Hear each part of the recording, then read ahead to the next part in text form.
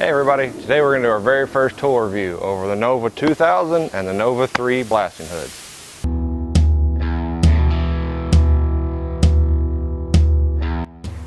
So today we're going to talk about the Nova 3 and the Nova 2000 blasting helmets.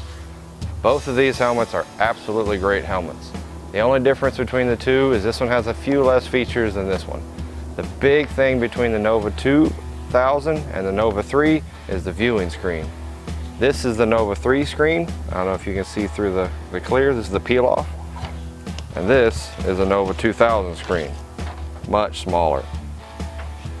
they both use inner liners, which is this blue.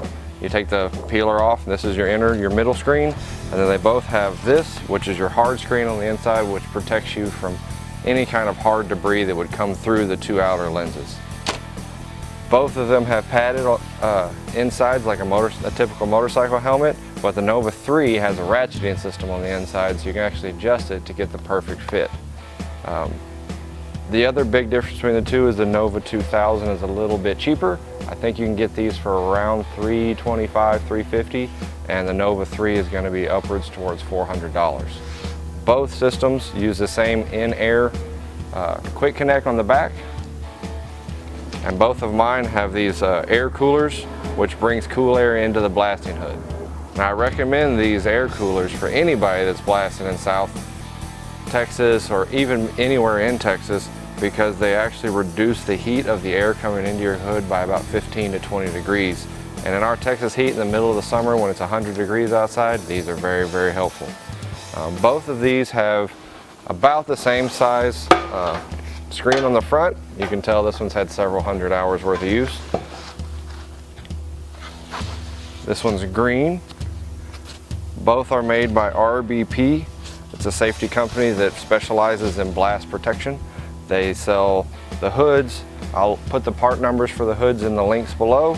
They also sell these air coolers. They have two different versions of these. I prefer the lighter plastic one over the metal one just because you know it's easier to, to move around with. The air conditioner has an adjustment knob on the back, so if it's a cooler morning, you can close it off and get your straight air through. If it's hot in the afternoon, the more you open it up, the cooler it gets. Now one tip I will tell you, this little knob at the end gets very, very hot during the middle of summer. The more it's working to keep you cool, the hotter this thing's gonna get. So just keep that in mind on your back placement. As I said before, both of these hoods use the same peel off type lenses all you do is you reach over, you pull this little tab, and it just peels off kind of like a NASCAR. The two pieces separate. The ring stays with the hood, and this one you can just throw away. That's an easy way to, once this piece gets eaten up by sand or debris or ricochets or anything like that, and it gets hard to see, you just peel it off, and it's easy to use. Now a couple things about these hoods is when you're blasting wet, you're going to keep the peel-offs to a minimum because the water actually gets in between them and it doesn't make it very, very uh, useful. It gets very, very frustrating. Um, as far as dry blasting, both of these hoods work great. This Nova 2000, I will say this little clip on the side does get caught on things and comes undone. On the Nova 3, they have eliminated that issue by having a smooth latch. It does this, same as that one, it's just smooth and doesn't get caught on nearly as much. As far as keeping you safe, both of these hoods are great. There are other hoods in the industry, but these from what I've used have been the most functional and comfortable. Now just real quick for to show what it looks like, I'm gonna put the two hoods on and then take them right back off. It's very simple, just like a motorcycle helmet. You just slide your head in it.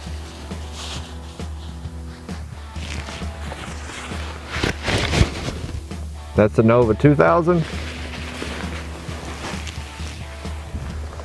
That one's a snug fit. There's no adjustment on the inside. This is the Nova 3. It has a ratcheting system on the inside, so it is much more comfortable, but it is a little more heavy. And there's the Nova 3. As you can see, very easy to put on and take off.